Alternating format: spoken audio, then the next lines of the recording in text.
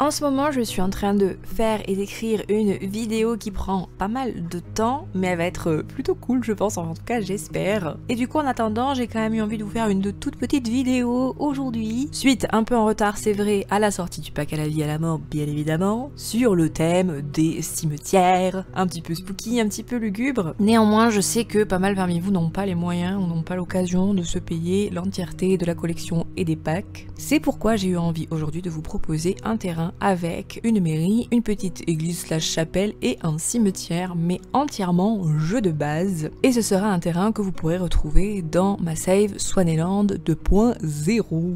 Alors, j'ai préparé un petit peu le terrain, j'ai pris euh, le terrain du musée de Willow Creek, du coup j'ai transformé en lieu de mariage, et j'ai sorti quelques objets du debug qui vont nous aider à faire ce cimetière jeu de base. Vous voyez là les, trois petites tombes qui sont en fait un seul et même objet du debug, mais avec trois coloris différents. J'ai également sorti des dalles et des petits lopins de terre pour faire par exemple des euh, pierres tombales, euh, bah sans pierre du coup, encore en d'être creusé par exemple. L'idée ici, ça va être de faire la mairie sur ce carré d'herbe ici et de partager celui en face entre la chapelle en haut et le cimetière en bas. Je vais faire les coquilles de mon côté pour gagner un peu de temps et je vous retrouve tout de suite. Et voilà les deux bâtiments, la petite mairie juste ici. Peut-être que je pourrais d'ailleurs la surélever légèrement et lui faire un petit parvis sympa. Et juste en face, la minuscule chapelle où on pourra du coup marier les Sims. vous pourrez les marier là comme vous pourrez les marier dans la mairie. Et du coup juste ici, le fameux cimetière. Par contre, je pense que j'aimerais clôturer avec ce genre d'éléments qu'on trouve dans le debug et que je trouve particulièrement adapté à un cimetière. Vous voyez, si je fais comme ça, ça peut être vraiment sympa. Mais je vais pas le laisser évidemment juste comme ça tout seul sans rien. On va venir y rajouter des haies pour venir couper un peu cette grande hauteur de grillage. Je vais quand même commencer par faire le tour complet. Ça donnerait quelque chose comme ça. Ça fait très prison là, sans les haies, mais attendez, ça va s'arranger de suite. J'hésite à mettre celle-ci. Mais celles-ci, pour le coup, elles sont très hautes là. Si je les place comme ça, en fait, la taille idéale, c'est celle-là. Mais c'est une taille que je crée avec Tool. Et donc, pour faire tout le tour, euh, je vais m'enquiquiner un petit peu, je pense. Oh, attendez, ça c'est pas mal du tout. Ça donnait rien dans le catalogue, mais en vrai... Ah, ça me plaît bien là. Comme ça, c'est pas mal. Hop là, voilà. Oui, de suite, c'est pas mal. Après, on va bien sûr ajouter des cyprès, qui sont les éléments phares des cimetières. En tout cas, euh, chez nous, France et en Europe. La question c'est est-ce que je continue juste ici et je ferme ou est-ce que je mets euh, plutôt un grand arbre là? Ça peut être pas mal aussi avec un arbre en fin de compte. Je suis pas hyper hyper fan, je vous avoue. Je crois que j'aurais préféré que ça fasse un petit... un semblant d'arrondi qui n'est pas vraiment arrondi quoi. J'ai trouvé une solution qui me convient un peu mieux. C'est un peu plus adouci ici. Disons que ça fait moins euh, là, le gros... La grosse fermeture en diagonale, c'est un petit peu plus ouvert. C'est sympa. Je suis pas persuadée par cet arbre là. En revanche, peut-être de l'autre côté. Et là, un simple cyprès peut-être un peu plus petit. Et hop là, juste sur le devant de l'église, par là. J'en mettrai quand même bien un autre ici. Et après, j'aurais bien aimé un grand arbre, mais ceux-là, ils sont vraiment très très grands. Après, je peux mettre éventuellement celui-là, parce que je, sais pas, euh, dans ma tête, il y a vraiment des chênes, des grands vieux chênes dans les, dans les cimetières. Je sais pas pourquoi j'ai cette image-là, mais vous voyez, un truc comme ça, c'est pas mal. Ça répond un peu à ce qu'on a autour en plus. J'ai pas l'impression que ça gêne plus que ça. Pour le moment, je vais le laisser. Peut-être que ça restera pas, mais en attendant, je vais le laisser. Je vais rajouter un autre cyprès par là, peut-être encore plus petit celui-ci. Et euh, j'avais aussi envie de rajouter un petit arbre par là, mais je sais pas trop lequel. Potentiellement celui-là que je réduis un peu et que je viens placer par ici en espérant que ça gêne pas trop à l'intérieur. Maintenant, on va construire une, une allée et de la peinture de terrain pour pouvoir se déplacer tout simplement dans le cimetière. On a ce motif là qui pourrait être pas trop mal à tester. J'aime bien ce petit motif. En fait, c'est soit celui-ci que je voulais utiliser, soit celui-là, mais celui-là il est un petit peu clair je trouve. Celui-là il est pas mal, mais je trouve pas hyper adapté pour un cimetière, je sais pas pourquoi, je trouve que ce motif-là, euh, pas fou, pas fou. Ou alors on a lui. Oh lui c'est pas malin. Voilà, on aura notre allée principale, et après on pourrait avoir peut-être des, des allées plus petites en gravier, un peu comme ça. D'ailleurs je vais faire aussi une transition entre l'allée principale et les petits graviers des allées secondaires des tombes. Je vais commencer à placer peut-être deux par deux des petites tombes avec les dalles comme ça qui vont nous servir à bien délimiter chaque tombe. Profiter aussi pour ombrer un peu le bord du bâtiment, le tour des tombes aussi, sous les arbres. J'aime bien faire ça. Ça donne beaucoup de relief. N'hésitez pas d'ailleurs sur vos parties à jouer beaucoup avec la peinture de terrain. Ça amène de suite euh, beaucoup de dimensions, je trouve. J'ai placé pas mal de petites tombes comme vous pouvez le voir. On va s'occuper du coup après d'agrémenter avec des végétaux. On va continuer aussi de placer les allées de gravier juste là. Hop.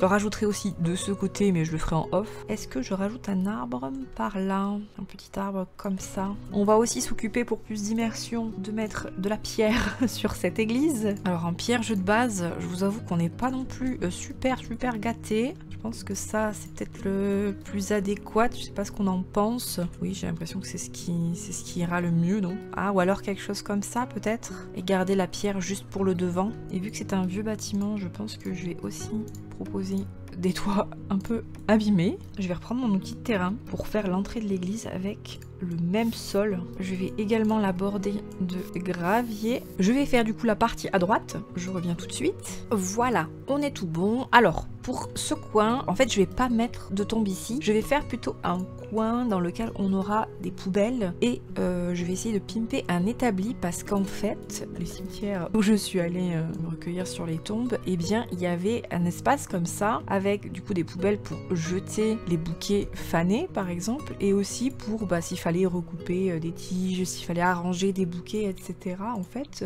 il y avait un espace qui était prévu pour ça et je me suis dit que ce pourrait être pas mal d'avoir ça. Alors, je vais peut-être pas mettre autant de poubelles ici, mais voilà, avoir un établi là et je vais le pimper un peu. Je vais le retourner et je vais mettre la poubelle juste à côté pour pas qu'on voit trop qu'il y a là. Je sais pas si je mets cette poubelle ou pas. Je pourrais mettre tout simplement celle-ci en réalité. Celle-là peut-être en plus petite à côté. Voilà, comme ça c'est bien caché. Juste devant, je vais y mettre, pourquoi pas, ouais, des fleurs euh, et tout ça. Peut-être carrément des bacs. Je sais qu'on a ça. Ça, ça cache un peu, c'est pas trop mal. J'aime bien.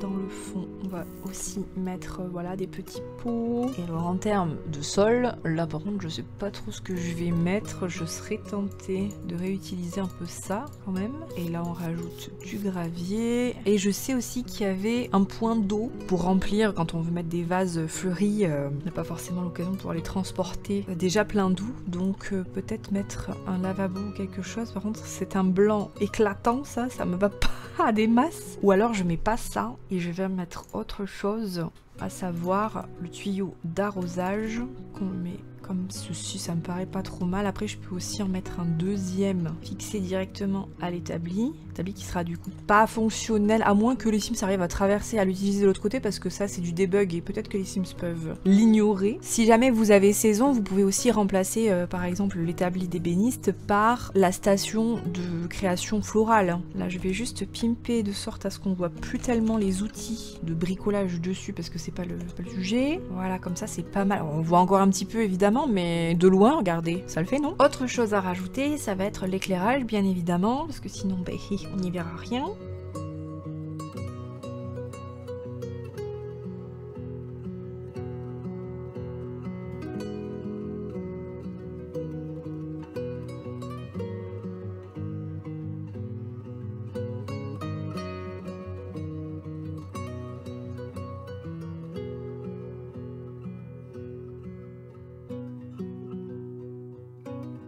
Nuit, ça donne ça. On est bien au niveau des éclairages, je trouve. J'ai légèrement modifié le dessous des tombes avec euh, cette peinture de terrain que je trouve trop trop belle que j'avais pas vue.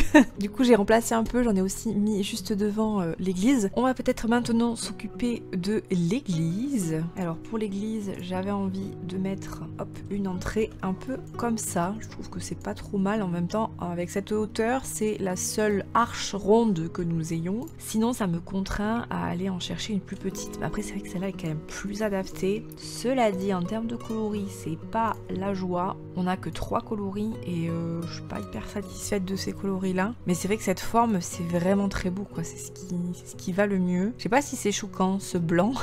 Ensuite il faut que nous mettions des euh, petites ouvertures en haut. J'imaginais peut-être quelque chose comme ça. du coup est-ce que je le mets blanc pour aller avec la porte en bas? En vrai euh, il y a un mood où ça c'est pas mal. Hein. Et ensuite il nous faut une porte, une porte d'église. Alors celle-ci est pas mal en réalité. D'ailleurs il faut que je trouve des fenêtres qui fassent un peu vitraux.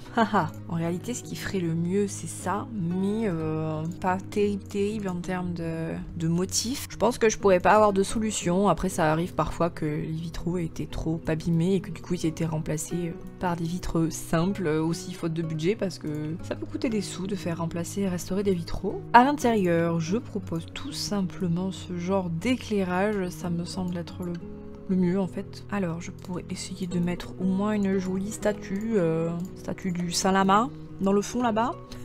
Après, il va nous falloir bien sûr, voilà, ouais, des petits bancs. J'aimerais bien mettre ceux-là, je les trouve euh, pas mal. Peut-être ouais, peut-être pas, pas adapté à l'intérieur d'une chapelle, cela dit, c'est vrai. Alors, il nous faut l'arche de mariage, bien évidemment. Alors, une statue, un peu sympa, parce que celle-là, elle est, très belle, même si ça fait pas, oui, bon, on n'est pas sur le Saint-Lama. Là, on est sur le Saint-Lama. On pourrait partir sur ce délire-là, le Saint-Lama ailé, euh, pour les mariages, on est bien, non? J'aurais voulu poser des bougies sur... Euh, ah, parfait, on peut, elle s'y met toute seule. Incroyable, formidable. Voilà, ça, nous avons des jolies bougies. Je pensais en mettre aussi un peu par terre, là. Qu'on soit sur quelque chose d'un peu cérémonial, quand même. Bien sûr, des fleurs. Ah, voilà, ça, c'est joli. Alors, nous n'avons pas, du coup, dans le jeu de base, de quoi euh, avoir une vraie allée en gameplay. Mais par contre, on a ce genre de tapis. Ma foi, je sais pas ce qu'on en pense, mais je me dis que ça pourrait faire l'affaire, non? Ce qu'il y a aussi dans les chapelles et tout ça, en général, ce sont quand même des tableaux. Et là, j'avais trop envie de mettre lui, déjà parce qu'il est magnifique. Et que, je sais pas, il me, parle ce petit tableau là. On n'a pas de tableau véritablement de mariage aussi dans le jeu de base. Ah si, on a ceux-là. Je pense d'ailleurs mettre des portraits euh, avec d'autres couples comme ceux-là, plus modernes, plutôt dans la mairie. Ah mais oui, on a ça. Mais c'est formidable. Bah parfait en fait. Je vais mettre ça. J'avais oublié que... Mais attendez, parce que cet item d'ailleurs, il a toujours été dans le jeu de base. Ma tête, ça venait avec vampire, ça. Hmm. Dans ma tête, ça venait vraiment avec vampire. Mais après, peut-être que peut-être que je me trouve, enfin, c'est possible. Mais bon, j'ai toujours eu l'impression que ça venait, ça venait pas avec le jeu de base. en fait, j'hésite à mettre des, petits bancs carrément là. Parce que souvent, c'est des bancs quand même. C'est pas forcément des chaises individuelles. Parfois, oui, si, oui, c'est vrai. Mais j'ai quand même vu pas mal de fois où c'était des bancs. Et donc, je me dis que là, les bancs, on est bien. Mais faudrait d'autres choses ici. Après, on pourrait aussi avoir euh, tout ce qui est euh, information relative à la chapelle. Et donc, plutôt préféré, voilà, ce genre de, petits, de, petites décorations murales, comme si c'était, je sais pas, les horaires, euh, etc. Avec là, peut-être des prospectus pour que sais-je finalement. Les petites colombes, ça en est bien là. Les petites colombes, c'est pas mal par contre. Et de ce côté, peut-être un grand miroir. Je sais pas s'il y en a, y en a vraiment. Euh, je sais pas. là, j'avoue, je suis dans l'inconnu. Après, ça pourrait être un miroir. Hmm, attendez.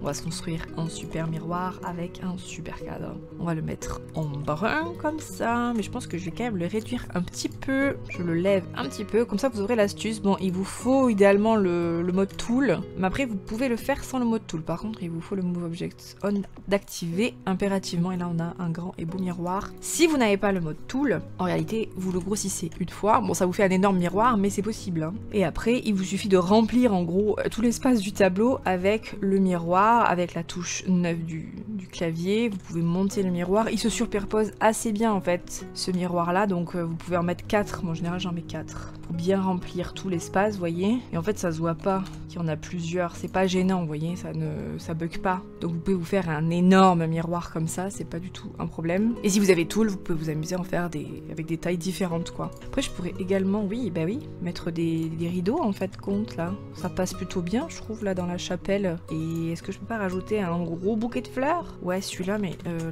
la, taille est pas la bonne. Voilà cette taille là elle est parfaite. En parlant de fleurs, on va s'attaquer maintenant au fait de fleurir quelques, quelques tombes ici quand même. Avec euh, bah, tout simplement des petits bouquets par-ci, par-là. Il y a également plusieurs petits objets qu'on va pouvoir mettre sur les tombes. Je pense qu'il pourrait y en avoir des beaucoup plus fleuris que d'autres, c'est souvent le cas. D'ailleurs, petite anecdote, j'ai un peu honte.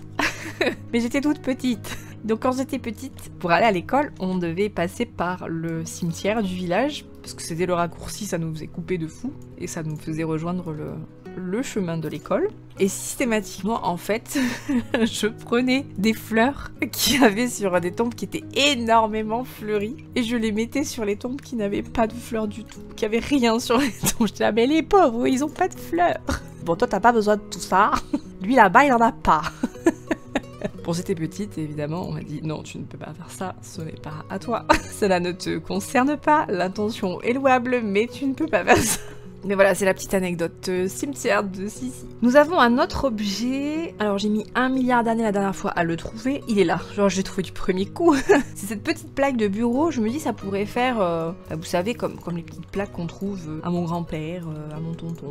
Ça fait assez illusion de, petites plaques commémoratives comme ça. Je sais pas du tout comment ça s'appelle. J'ai aucun lexique de cimetière et tout. Je non, vraiment pas. Des emplacements pour les fleurs, mais il n'y a plus de fleurs dedans. Et alors ce qu'il nous faudrait, oui, c'est des, des cadres pour les photos mais bon, je sais pas si je vais trouver. Je crois quand même que dans le jeu de base, on a une photo de souvenir d'université que je vais peut-être pouvoir utiliser en tant que photo commémorative, quoi. C'est celle-là. Non, c'est les lamacornes, rien à voir avec l'université. Mais bref, peu importe. Ça, ça peut, ça peut se faire, quoi. Même si c'est pas tout à fait un portrait. Après, je peux aussi mettre un portrait, du coup, là. J'y pense, mais on en a des portraits, en fait. On a lui, par exemple, là. On peut mettre cette dame, ce monsieur, avec son très beau, euh, très beau chapeau, qui serait juste là. Et comme ça, c'est pas mal du tout. Je vais finir de pimper un peu le terrain. Je pense pas meubler la mairie, mais je pense que je vais au moins faire l'extérieur de mon côté. Comme ça, on se retrouve tout de suite pour faire la visite finale du terrain. Enfin, finale, oui et non, parce que du coup, il y aura pas l'intérieur de la mairie, mais je la ferai de mon côté. Vous aurez la surprise quand la save sortira, ce sera pas mal. Je rappelle que là, je suis pas sur la save étoile, je suis sur la save Swaneland 2.0. La save Swaneland est d'ores et déjà disponible sur mon blog. Vous avez tous les liens en barre d'infos comme toujours. Si vous avez des questions sur la save étoile, n'hésitez pas à aller voir ma vidéo sur la save étoile où j'explique tout. Je vous la mets dans le petit i. Si jamais j'ai pas répondu à une de vos questions dans cette vidéo là, n'hésitez pas à la poser en commentaire ou à rejoindre le Discord. D'ailleurs, j'insiste aussi pour le fait de rejoindre le Discord. Sachez que c'est là-bas que j'organise tous les giveaways des Sims 4. Grâce au programme d'IA Creator Network, j'ai régulièrement des codes pour des packs et des kits à vous faire gagner lors des sorties. Et c'est sur Discord que ça se passe. Donc si vous voulez avoir la chance de remporter un petit kit ou un gros pack, n'hésitez pas à le rejoindre. Tout est expliqué là-bas quand il y a des giveaways. Allez, à tout de suite, je pime tout ça. Le terrain du moins, l'extérieur est maintenant terminé. J'ai légèrement arrangé les tombes comme vous pouvez le voir. Je les ai entourées de petits murets pour vraiment qu'on ait cet effet euh, pierre tombale quoi. De l'autre côté de l'église, j'ai simplement installé des jardinières pour pouvoir planter des choses. Ça pourrait être utile